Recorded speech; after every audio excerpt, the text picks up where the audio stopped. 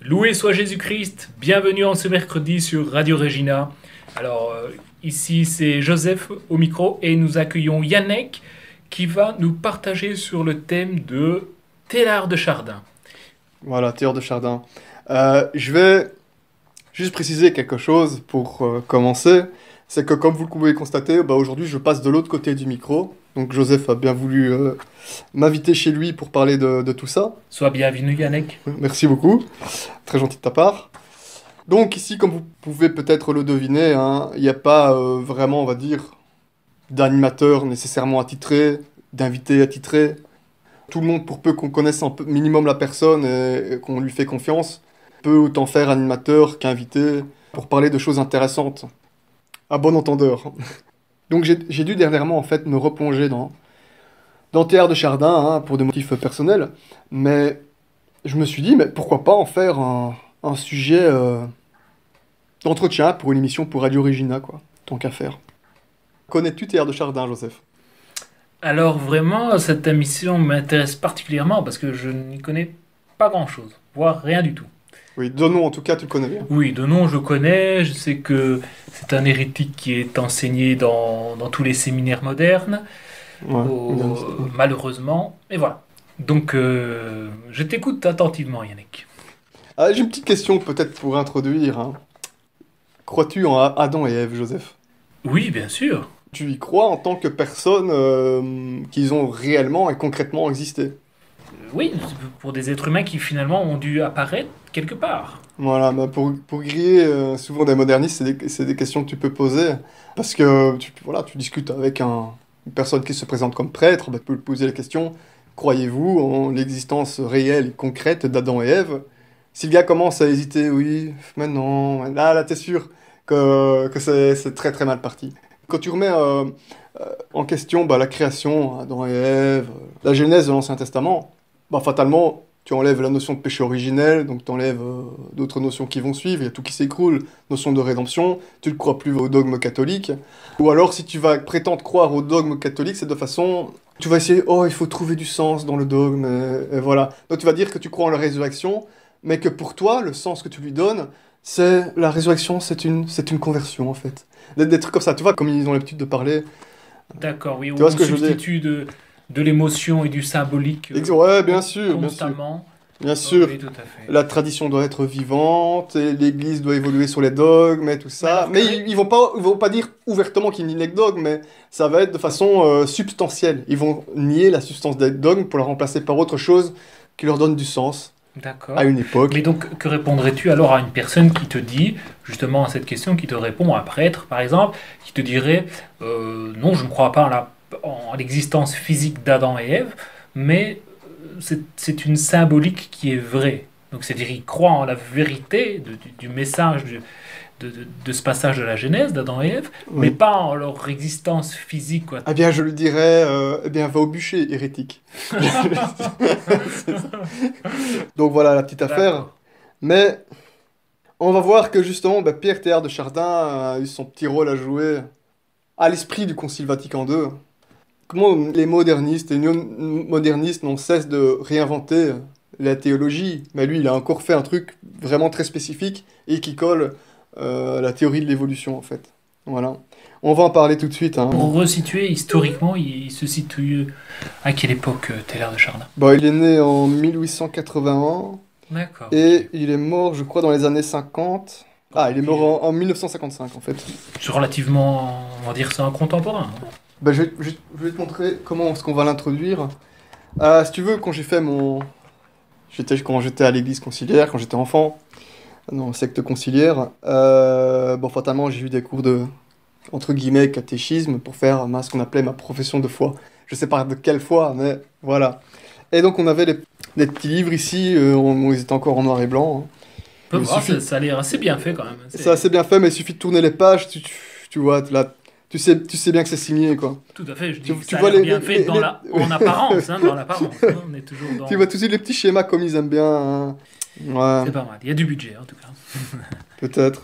En tout cas, bah, il y, a- il y a quelques pages, y minimum 4 pages qui concernent ici Théâtre de Chardin.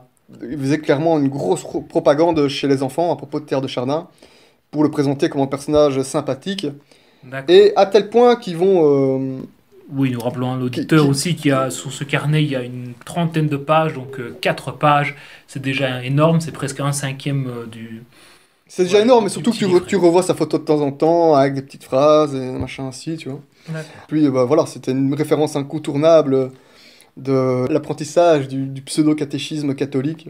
Hmm. Tu vas voir à quel point c'est immonde, donc c'est vraiment la propagande chez les, chez les enfants. hein. Parce qu'ils vont se référer à des petites anecdotes de sa vie que l'enfant qui étudie ça va peut-être pas oublier. Parce que bah, justement, on va voir euh, ce qui s'est passé durant sa vie quand il était enfant, euh, enfin quelques événements, et qui font que ça rend le que l'enfant va s'identifier à lui, et le personnage va être d'autant plus sympathique. Euh, donc ici, tu vois, le truc qui va faire que, que les enfants vont s'identifier à lui, c'est cette petite histoire, cette grosse anecdote. euh. Ici, tu vois, donc, sur la photo, je vais peut-être te la montrer euh, aux éditeurs hein, quand, quand on fera le montage. hein. Donc tu le vois ici, un petit enfant dans les bras de sa maman, avec, euh, D'accord, oui. avec un petit feu, euh, un petit foyer à côté. hein. Les valeurs de la famille. Voilà, c'est tellement beau. Donc ici, quand il a 5-6 ans, sa maman lui coupe une mèche de cheveux. Enfin, elle lui coupe les cheveux ou quoi, et je crois qu'il en garde une mèche. Et ça, il, rac- il raconte ça, attends, je sais plus le, quel bouquin il raconte ça. C'est ouais, c'est dans le, son livre Le cœur et la matière, tome 13 de son œuvre posthume. Euh, donc il coupe des cheveux, et alors je sais plus si c'est lui ou sa maman, mais l'un des deux en tout cas, balance une mèche de cheveux dans le, dans le foyer, dans le feu. Hmm. Et il voit les cheveux commencer à brûler et tout ça. Et là, il a 5-6 ans, hein, comme je dis, donc il a. hum, Ça le choque.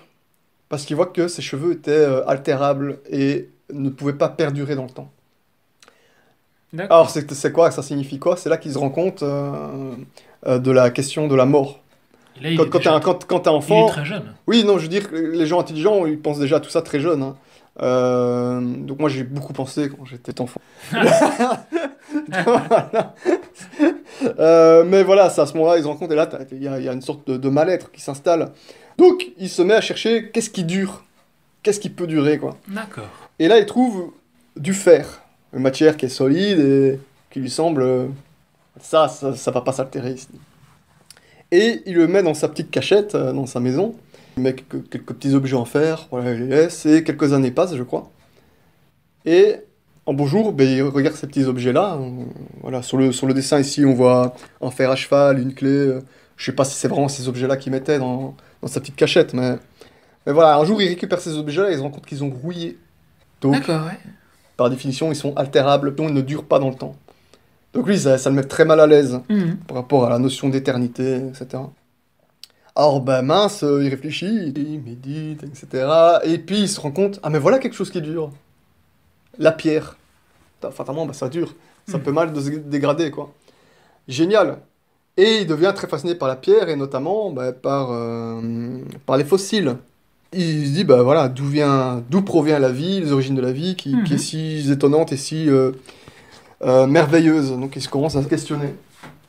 Son cheminement euh, euh, va faire qu'il va s'intéresser autant aux questions entre guillemets religieuses, théologiques entre guillemets aussi, Parallèlement aux questions plus qui touchent la science. paléontologie. Il va être un grand spécialiste de la paléontologie.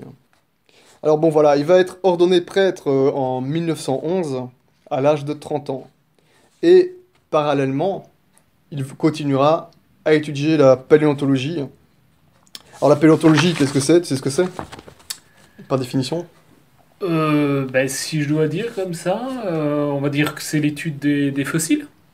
Exactement, voilà, c'est la discipline scientifique qui étudie les, les restes fossiles des êtres vivants et bah, les implications évolutives, évolutives, évolutionnistes Yes, qui ressortent. Voilà. voilà, il fait ses études de philosophie sur, euh, au Jersey. Jersey, c'est une petite île euh, au nord de la France, mais qui appartient à la couronne britannique. Oui. Fatalement, tu imagines bien que c'est pas la philosophie scolastique qui l'intéresse le plus. Et de surcroît, euh, toutes les notions qui proviennent de Saint-Augustin ne l'intéressent pas non plus. Voilà. Il rejette complètement le surnaturel, donc il est déjà très très mal parti.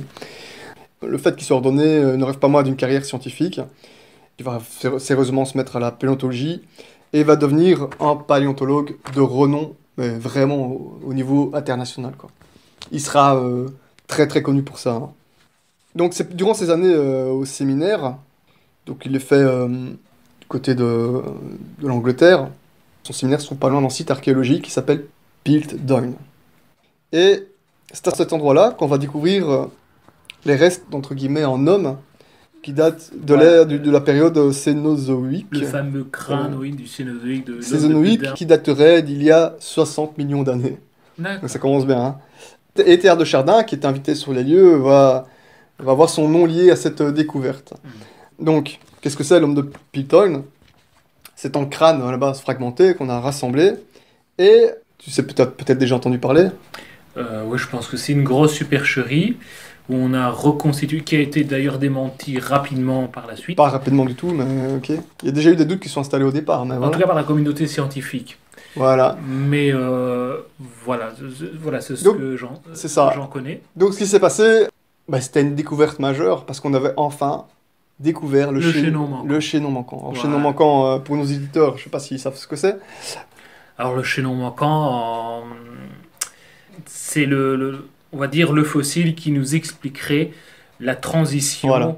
qu'il y a entre euh, l'homme singe ou le singe et l'homme, on va dire moderne. Voilà. Et donc, euh, comme Voilà. l'évolution postule une évolution graduelle en fait euh, des êtres, ce qui signifierait que l'être humain a évolué à partir d'un singe. Voilà, c'est le postulat de Exactement. euh, qu'on apprend à tous les enfants Et on- dès la maternelle. C'est ça. Donc, ce qui est assez drôle, justement, c'est qu'on retrouve autant de, fo- de fossiles possibles et imaginables de n'importe quelle euh, créature qu'il daterait d'il y a des centaines de millions d'années. Je parle notamment des dinosaures, mais aussi d'autres espèces animales. Et on en retrouve plein, plein, pas de problème. Par contre, l'homme qui daterait d'il y a, euh, qui serait né il y a des, plusieurs dizaines de millions d'années, là c'est bizarre. Ils peuvent retrouver des fossiles de singes, ils peuvent retrouver des fossiles d'hommes, mais ils ne retrouvent pas la transition. Où est-ce qu'ils sont tous les fossiles, tous les, tous les os de l'homme, enfin de la créature mi-homme, mi-singe? Enfin, plus. On ne parle plus de créature dans ce contexte, mais où, où est-il passé? C'est bizarre. Pourquoi est-ce qu'on n'en trouve pas des millions si la théorie de l'évolution est valide? C'est quand même étrange. Donc là, enfin, ça y est, on a trouvé le chaînon manquant, on a retrouvé un crâne de transition mi-homme, mi-singe. Ah, c'est génial, c'est la fête. euh, Donc les Anglais sont très contents, euh, parce que c'est une fierté nationale, évidemment. Et puis le temps passe. Je crois qu'il a fallu euh, près de... Si je ne me trompe pas, je regardais un petit peu dans mes notes, mais je crois qu'il a fallu près de 40 années. hein. Près de 40 années pour bah, se rendre compte, euh, effectivement, que c'était une grosse supercherie. Supercherie. Donc c'était une dent de singe qu'on avait mis dans la, dans la mâchoire, dans le crâne humain D'accord. une ouais. canine quoi. C'était euh, pas tout à fait exact, on sait pas, euh, il y a des doutes sur Terre de Chardin, on se demande si lui-même n'a pas participé à la supercherie ou si lui-même a été dupé. En tout cas, bah, ça n'a pas changé ses idées évolutionnistes, hein, malgré tout. Ce qui est Euh, mais- triste aussi dans l'histoire, c'est que à partir du moment où on décèle la supercherie, l'homme de Pitdown est toujours cité dans les manuels scolaires et manuels d'université pendant des années, des dizaines d'années après qu'on ait découvert cette supercherie. Ben oui, Ah, là on est en 2018 et la théorie de l'évolution a non seulement toujours enseigné, mais en plus dogme. Elle un est, vo- voilà, c'est c'est un dogme mondain, c'est le paradigme obligatoire auquel tu dois d'office adhérer. Et euh, c'est chaud, hein, Moi j'ai un ami, il a fait des études de géologie. Là aussi, tu dois croire absolument à la théorie de l'évolutionnisme. Et à un moment donné, il a commencé à se remettre un peu en question, enfin remettre un peu en question ce qu'on lui enseignait. Il a commencé à comparer des documents sérieux dits créationnistes C'est là où il, est- où il a commencé à Voilà. partir. euh, mais sans toucher à la religion au départ. hein. D'accord. oui. Sans toucher à ce qui est religieux, mais il se dit, mais c'est pas possible, il y a quelque chose qui va pas. Donc il continue à étudier. Voilà. Bah, fatalement, à un moment donné, il dit, mais non, ce qui, ce qui est plus logique, c'est la création. Mhm. Et petit à petit, c'est ce qui l'a conduit à lire les Saintes Écritures. Voilà, et à regarder. euh, Voilà, entre guillemets, il a mal fini. Donc ça. euh, non, il a mal fini du point de vue. C'est euh, pour dire que si, si tu restes dans le dogme qui est enseigné dans les, dans les universités, la voie royale est, est ouverte et tu auras probablement des bons postes. Et. Ce qui n'est pas le cas, évidemment. si Évidemment, tu- bah, il, a, dû si arrêter tu te ses études. Il a dû tu- arrêter- il a- il a- tu- et tu renies effectivement Euh, toutes les vérités qu'on Il n'a t'enseigne. pas, il a pas eu le là-bas. choix, il a pas le choix, il a, dû arrêter ses études. Euh, mais c'est pareil. euh, À cause dans les de milieux. euh, oui, bien sûr, à cause de ça. Mais t'as as aussi le problème dans les milieux euh, d'astrophysique. euh, L'athéisme se revendique de la science. Or que normalement, sûr. nous, en tant que chrétiens, plus on étudie la chose scientifique, euh, plus on se dit, mais c'est pas possible, ça peut pas être un hasard, c'est trop bien fait. Euh, et d'ailleurs, Saint Paul le dit, je crois que c'est dans, dans la lettre aux Romains, je crois. euh, Bien où- sûr, vous êtes où il dit que vous, vous êtes inexcusable, vous qui regardez la nature et qui ne croyez pas en Dieu. Oui. Mais eux bah, se revendiquent de. Tout ce que, enfin, le monde astrophysicien vont, vont se revendiquer euh, de- souvent de, de certains athéismes. C'est un peu le truc que tu es obligé de croire pour. euh, c'est le contexte, c'est l'ambiance, l'atmosphère générale de- dans ces C'est études-là. propre à l'astrophysique, mais je pense que c'est propre aux facultés, en tout cas comme elles fonctionnent au jour d'aujourd'hui.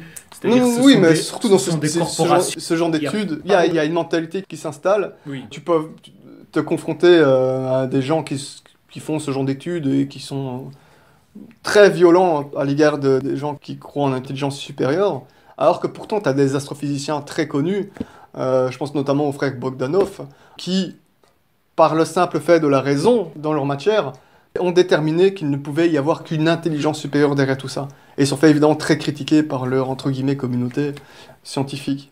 Et par ailleurs, euh, comme tu le sais, euh, c'est un chanoine, prêtre belge, qui est Le derrière la maître. fameuse, le maître, Georges Lemaître, qui est derrière la fameuse théorie du Big Bang. Alors moi, je suis pas là pour, euh, je connais pas du- bien cette théorie, donc je vais pas me, je vais pas en parler, mais euh, voilà, malgré tout, bah, l'ambiance est générale et athéiste dans ces milieux-là. On est encore loin d'être sorti du paradigme, le genre de paradigme évolutionniste, quoi.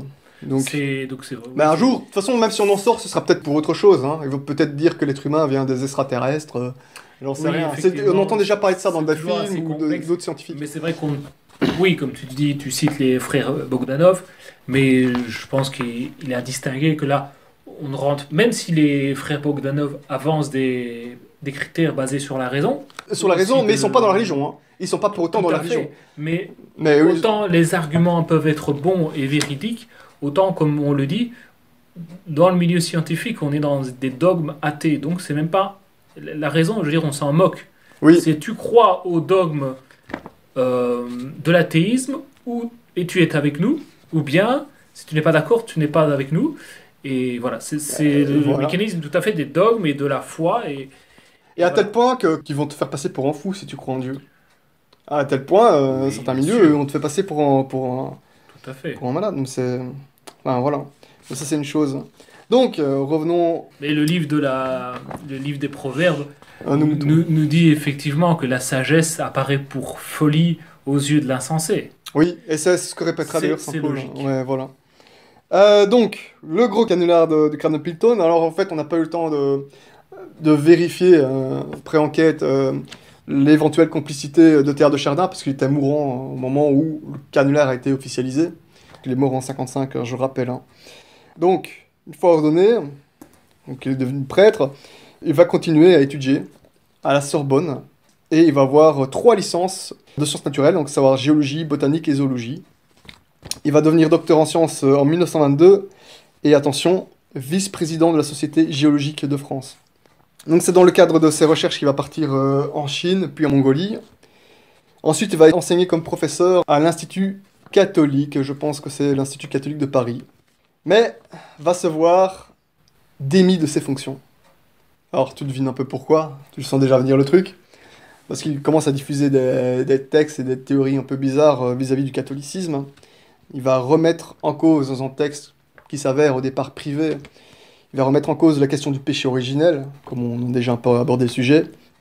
Donc il va envisager la théorie de l'évolution comme, euh, comme faisant partie du plan divin. Donc il va se faire taper sur le doigt et l'ordre des jésuites va lui demander d'abandonner euh, l'enseignement et de poursuivre ses recherches géologiques en Chine. Donc il va continuer à voyager, hein. il va faire de l'Éthiopie, s'en tenir à, il va me mettre à à son domaine. à son et domaine ne euh, pas faire des mélanges Ouais. douteux. Ils auraient dû le mettre au bûcher. Euh, mais ils pouvaient plus à l'époque. Euh, donc voilà. Donc il va être envoyé, donc, enfin, il je veux dire, dans le cadre de ses recherches paléontologiques, hein, il va passer par la Chine, l'Éthiopie, les États-Unis, l'Inde, Java, Birmanie, Pékin, l'Afrique du Sud. Il va vraiment faire un grand tour du monde. hein. Il va passer par plusieurs continents. Mais bon, ça va pas l'empêcher de continuer, évidemment, à écrire. Il écrira en 1932 Christologie et évolution. Donc il va mettre, euh, il va proposer sa, sa vision évolutive qui l'oblige à relire les notions de création, de mal, de péché originel, etc. Donc euh, ça continue. En 46, avec ses, ses fameux travaux, hein, il va être promu à la Légion d'honneur. Donc ça, ça sent mauvais aussi, si la République te, te, te la remet. Euh, il est élu euh, en 1950 euh, à l'Académie des sciences et est nommé directeur de recherche du CNRS en 1951, donc soit quatre années avant sa mort. Voilà, il était Il très, disait, il était très ce qu'on avait célèbre, envie très d'entendre à l'époque, peut-être. Certes, certainement. euh. Et comme on ah, référence tout à l'heure, Après, lui- je pense pas que c'était lui, il était sur l'ascenseur social, alors que d'autres, comme tu dis, euh, ton ami géologue, sont plutôt sur euh, l'ascenseur euh, Non, mais j'ai... j'ai- Enfin... vers le bas. Voilà. Oui, non, non, je pense qu'il croyait vraiment en ses, en ses âneries. Hein. Je, je pense croyait... Chardin. Oui, Oui, je sûr. pense qu'il y croyait vraiment. hein. Mais tu, tu vois que ces âneries l'ont amené à un ascenseur social assez efficace. Médaille d'honneur, euh, président du CNRS. Oui. Vraiment, les titres, euh, la liste des titres est assez longue. Chapeau, Ah, de bah, oui, s'il avait remis tout ça en question, fatalement, il serait pas là où il serait arrivé, quoi. Ah, voilà. Mais il s'est fait en tout cas un nom. Hein. Donc, t'en as d'autres qui complotaient dans l'ombre, non, notamment euh, d'autres parias, comme Henri de Lubac, qui lui aussi s'était fait taper sur les doigts. Et S'il y bien un nom qu'on doit retenir dans la crise, euh, considère euh, de Vatican II, enfin, l'une des personnes qui a, le plus fait de mal, c'est euh, Henri de Lubac. Alors, c'est des noms qu'on peut retenir avec Karl Rahner, euh, Hans Urs von Balthasar, etc. hein, donc des, des noms très très connus. On peut encore en citer plein. Mais c'est des gens qui vont très très bien s'entendre avec Théard de Chardin. Et bah, après le concile, euh, il sera euh, complètement réhabilité par euh, Jean-Paul II, Benoît XVI, François, François Zéro. hein, on va voir ça dans quelques instants. hein. Donc tu as un ancien dominicain qui connaissait, hein, qui était rongé par le modernisme, et qui avait fini par apostasier pour aller rejoindre la secte des vieux catholiques. hein. Donc cet ancien dominicain, il va demander à Théard de Chardin de le rejoindre, enfin peut-être pas de le rejoindre, mais de faire comme lui, le proposer, quoi. Mhm. D'apostasier, parce que il, voyait- il voyait bien, que, il voyait bien que les idées, de euh, Chardin n'étaient pas très euh, jésuite. Oui, oui, il était jésuite. Ça va, ok. oui. Oui, oui. Et Théard de Chardin, il va, il va lui répondre Non, non, non. Moi, je préfère, je reste à l'intérieur de l'Église catholique.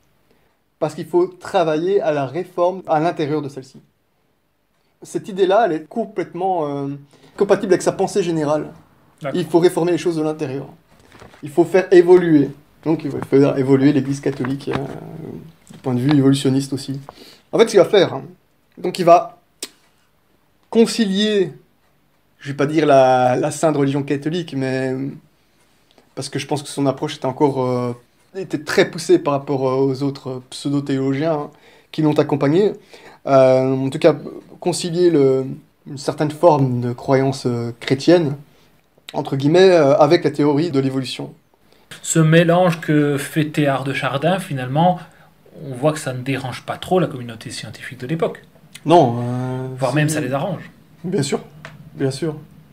Ça les arrange. Ça l'arrange que- et ça, et ça arrange le moderni- ça arrange le moderniste, ça arrange. Bien sûr, que ça- finalement, oui. on peut faire passer des pensées du darwinisme hmm, dans l'Église.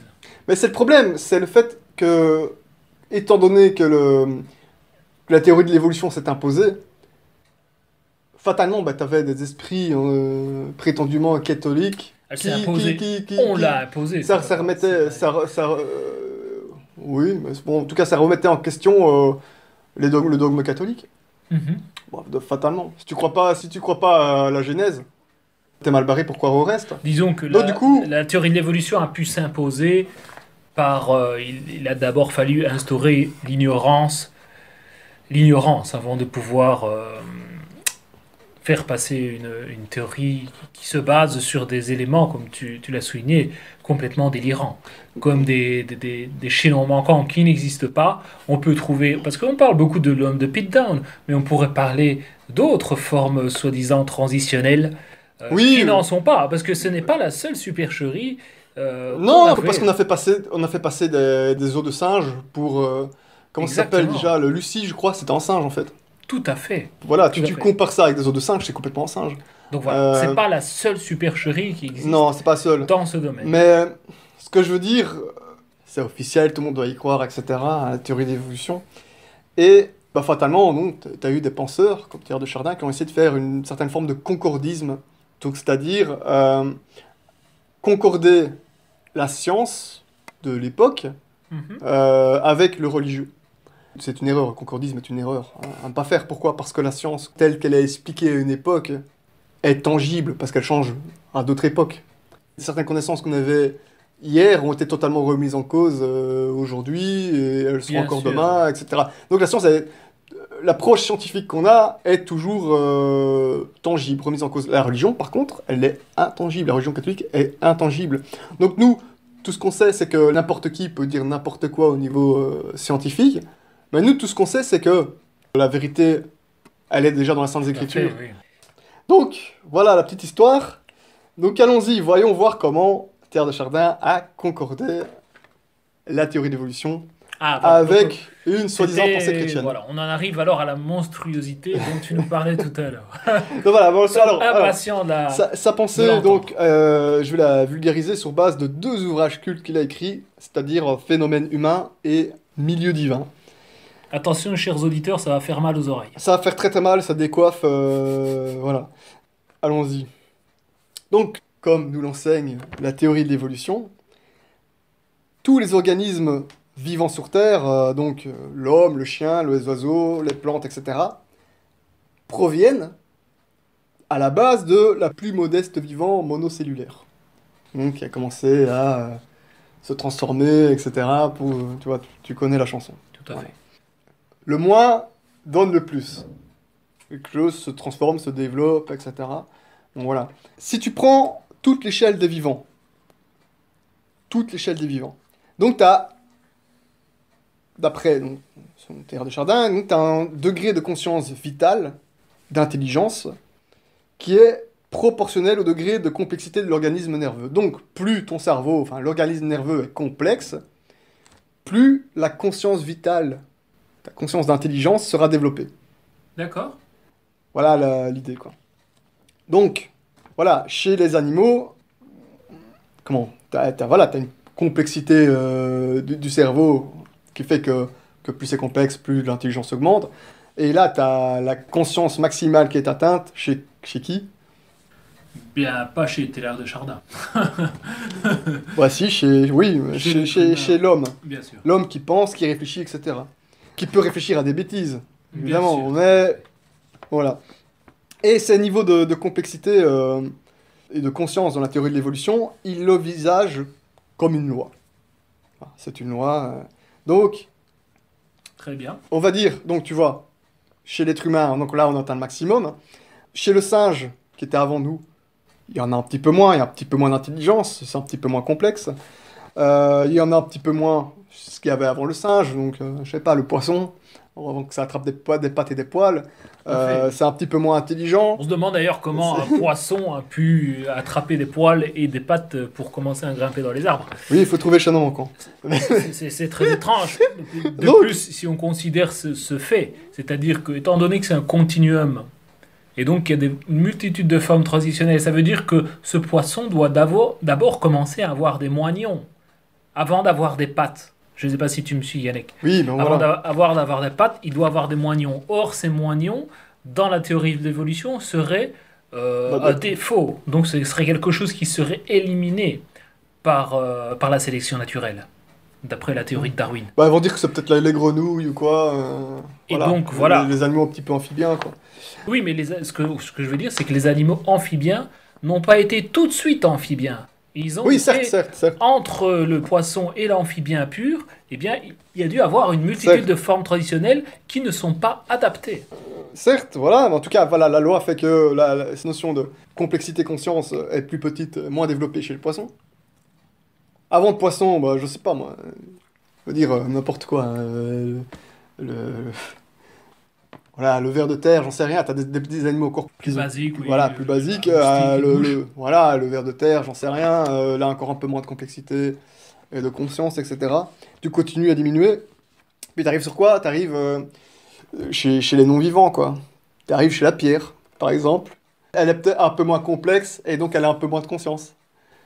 Ben, dans la- sa théorie, là, on aurait plus. Ah ouais, ça continue, hein, ça, continue. système nerveux. Voilà, on continue, à- on continue à descendre. Donc, euh, le plus petit atome, la plus petite molécule, elles sont d'autant moins complexes et donc d'autant moins conscientes. Mais quand même C'est- c'est consciente un peu. Voilà, exactement. Oui, mais, toute proportion gardée. Donc vraiment euh, insignifiante, on va dire. Mais euh, donc à tous les étages, du vivant et du non C'est un vivant, continuum. tu as voilà, tu as toujours un peu de conscience. D'accord. Euh, c'est cette conscience qui grandit au fur et à mesure de la complexité de la chose. Et donc finalement, on évite d'y introduire un saut qualitatif si, qui non, ferait au contraire, rupture. au contraire, si justement. Si, justement. Donc, Parce que c'est vrai qu'on a des sauts qualitatifs, comme tu le dis, euh, de ce qui est de la matière morte, par exemple des roches, c'est exactement des pierres, etc. C'est exactement et la matière vivante, les Voilà. inertes et le biologique. C'est exactement ce qu'il dit. Donc, tu as eu trois grandes étapes dans l'évolution, justement. Tu as eu d'abord le passage du non-vivant au vivant. Tu as l'énergie euh, intérieure et psychique des atomes et des molécules, Ouais, ou minéraux, ce que tu veux, qui ne font que s'intensifier, vibrer, euh, s'échauffer à cause de cette loi. Et à un moment donné, pff, ça explose et tu as atteint un changement de nature dans cette croissance. Le non-vivant passe ici au vivant, donc un peu comme euh, ah, une transformation, euh, Magique. un saut, voilà, comme l'eau qui, qui devient vapeur, etc. La pré-vie devient vie. Donc là, là quand- tu atteins quand l'étape tu parles de prévis, c'est c'est la matière non vivante. voilà, exactement. D'accord. Ouais, c'est ça. Donc finalement, c'est que les théories de théâtre de Chardin, c'est presque de la magie. C'est Ouais. pas, c'est même pas, c'est même pas, non, c'est juste- c'est même pas extraordinaire. en- Enfin, c'est mer- c'est merveilleux, ils vont me dire, mais c'est même pas en fait extraordinaire. C'est la loi de l'évolution. C'est comme ça. D'accord. C'est comme ça. Tout ça est bien beau, hein. Donc voilà. Donc là, on est passé à l'étape supérieure qui donne Mhm. les plantes, les animaux, etc. Donc tout ça est bien sympathique. Mais là, l'énergie intérieure du cosmos, elle va continuer encore au fil du temps à évoluer, à se complexifier, etc. Donc les animaux, ils évoluent et tout ça. D'accord, oui. Et à un moment donné, ils atteignent encore un point critique. Mhm. Et ce point critique, ça va être la prise définitive de conscience. La réflexion, la pensée, etc. Et qui va se produire chez, L'homme. produire chez l'homme. Et l'homme de Pete Down. Voilà. Alors, euh, là, là, c'était, oui, Petite plaisanterie. la- la- la petite transition euh, pour faire le grand saut. Voilà. La question est, euh, d'après cette loi, comment est-ce qu'on va continuer à évoluer maintenant? Tu vois, le, le saut, le- on a fait le grand saut. Oui. On a des êtres pensants, etc. Maintenant, comment est-ce qu'on va continuer à évoluer? C'est la grande question. Effectivement. Est-ce que d'après cette loi, le niveau de complexité chez l'homme, euh, est-ce qu'il va s'accroître et monter en conscience, avec toute l'énergie qui va s'échauffer, etc. Et atteindre un point de non-retour pour qu'on évolue après quelques dizaines, euh, milliards d'années, je sais pas, qu'on produise du sous-homme. Du quoi? Sur homme. Quelque chose, encore un truc au-dessus. D'accord. Parce qu'il y a le transhumanisme aussi qui vient. Bah exactement, t'as tout compris, mais t'as tout Mais- compris, voilà, t'as tout ça, compris. c'est- c'est vers ça qu'on va, on va en parler justement. Donc Thierry de Chardin, il va écarter l'hypothèse que je dis, euh, le- pour la production dans Sous-Rome. Il va dire que la conscience individuelle est parvenue à une, une parfaite réflexion pleinement centrée sur elle-même. Donc, c'est pas possible d'aller plus loin. Mais, ce qui va se passer, c'est qu'il va y avoir quelque chose d'autre. L'évolution, elle va produire une étape alternative à la transformation. Ce qui va se passer, euh, donc voilà, c'est là que ça, doit- ça commence à devenir très très intéressant, euh, parce que là on va toucher complètement à la, à la gnose, même si la gnose en soi, elle, touche euh, à l'immatériel. Mais si, lui, il- comme il déteste le son naturel et tout ça, il, il va l'utiliser dans, dans le cadre matériel. D'accord. Ce qu'il ce qu'il annonce, c'est que au fil du temps, tu sais bien que les êtres humains, on est de plus en plus nombreux, Hmm. euh, on ne cesse d'interagir socialement, hein, de plus en plus, de voyager, etc. Et donc lui, d'après lui, ce qui va se passer, c'est que tous les centres psychiques et spirituels de l'être humain, avec le temps, vont nécessairement se regrouper. Et ça va être un regroupement universel de l'humanité.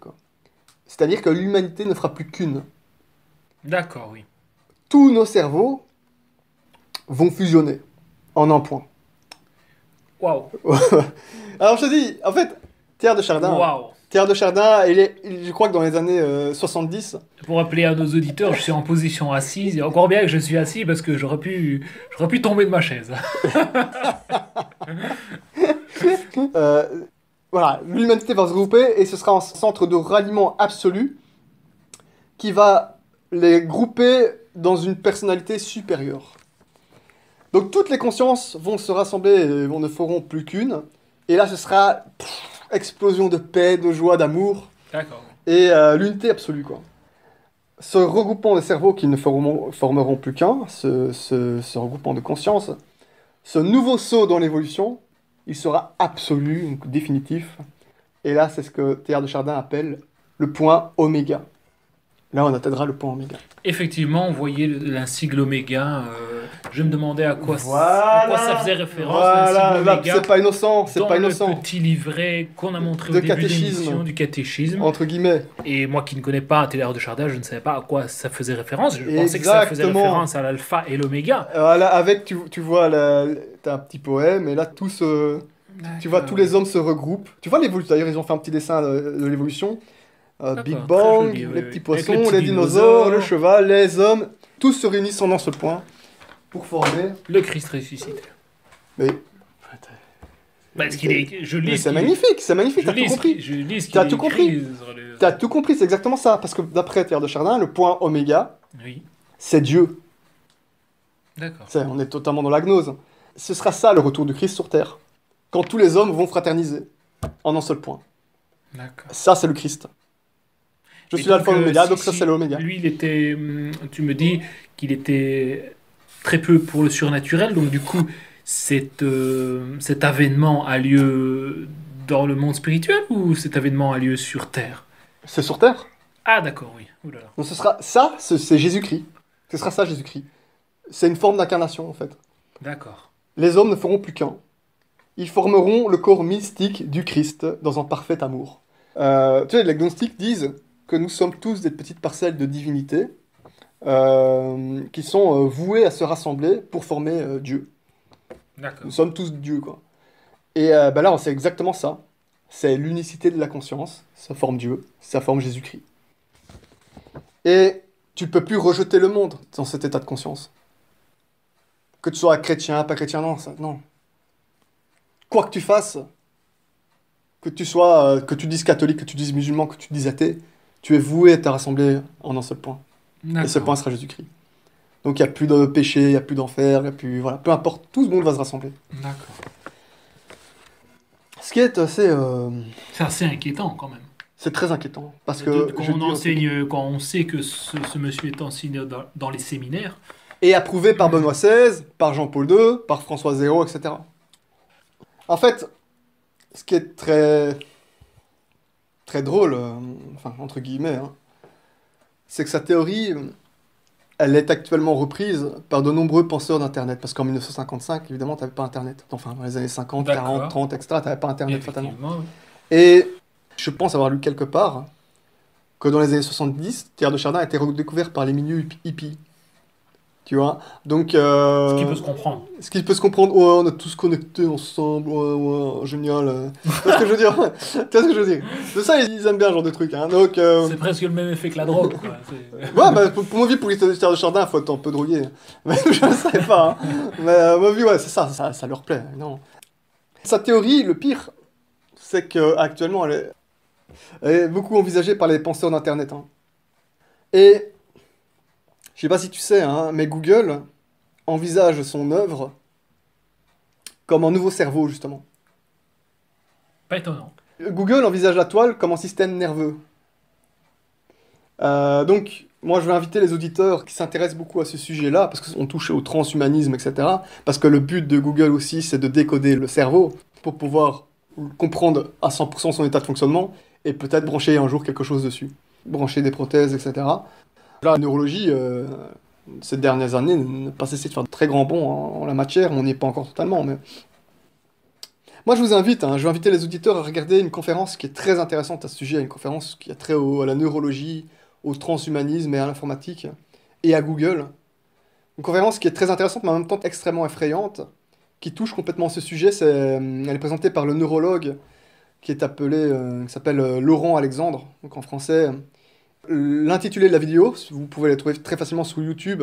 Je crois qu'elle a quelques, centaines de milliers de vues. hein. Elle s'appelle Les neuro révolutionnaire-Laurent Alexandre à l'USI. Ce neurologue va s'adresser à des informaticiens et va exposer les futurs enjeux du cerveau. C'est extrêmement inquiétant. Extrêmement inquiétant vers quoi on va.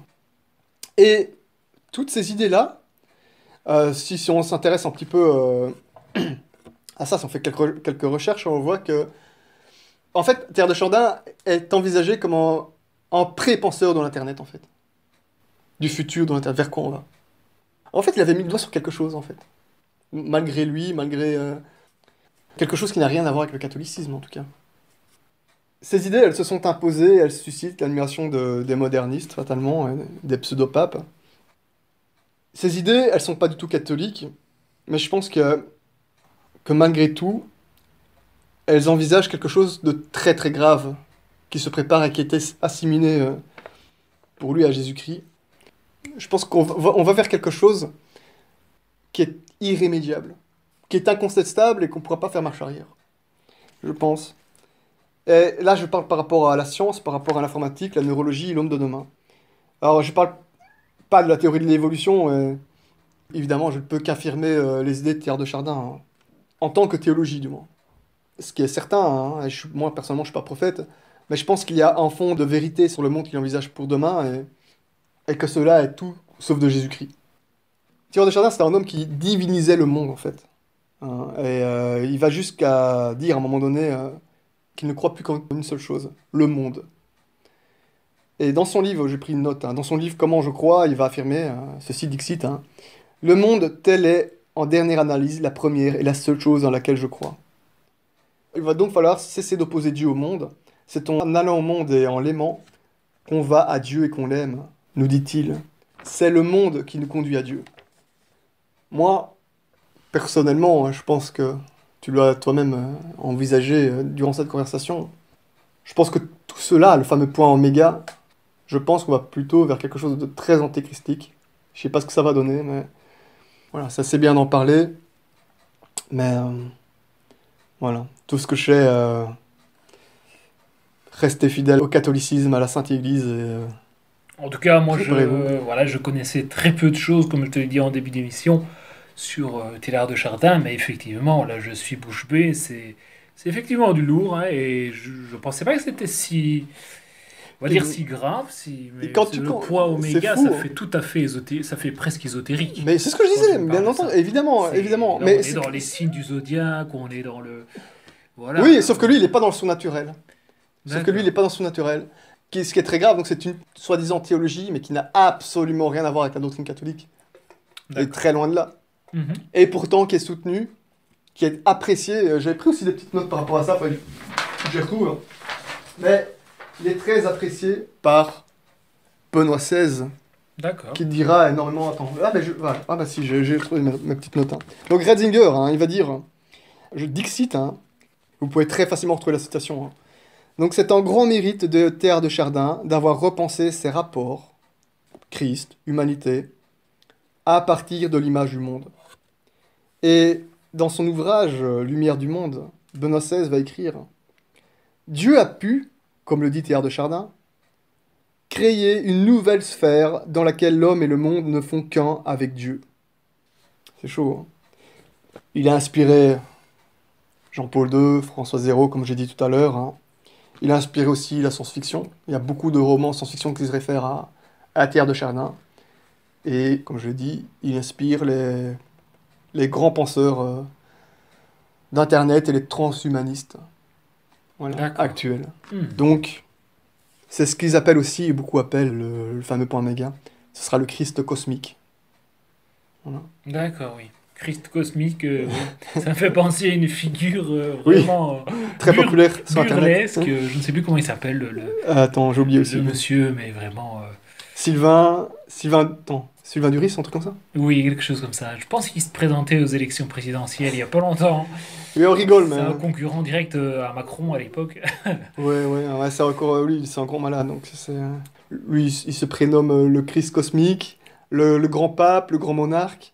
le grand prophète. Mais déjà, déjà rien que ça Rien que sa tête est L'homme burlesque. vert, l'homme vert qui se renomme La, aussi. la tête qu'il a, elle est complètement burlesque déjà. Ouais, ouais. Il a le physique de l'emploi, comme on dit. hein. Mais lui, il fait rire, tu vois.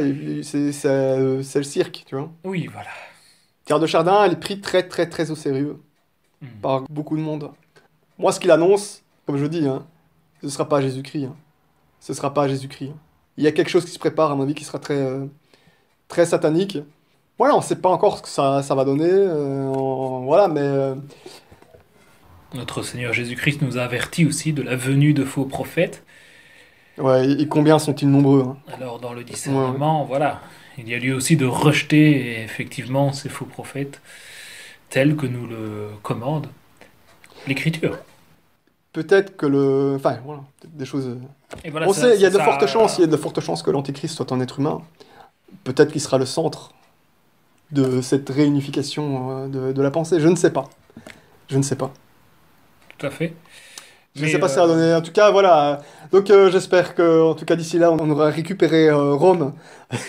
on aura chassé les modernistes de Rome. Et... Voilà. En tout cas, Joseph, euh, je te remercie pour cette petite interview.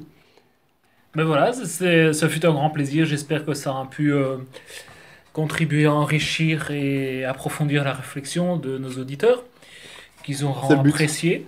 C'est le but. Et voilà, tout ça dans un esprit de discernement, effectivement, pour ne pas euh, voilà, boire du théâtre de Chardin ou boire de l'homme de Pete Down sans Ouais, aucun non, discernement. Je Et- préfère ton café. Eh bien, euh, reviens quand tu veux, Yannick. Merci à toi. je te remercie. Bah, union prière. hein.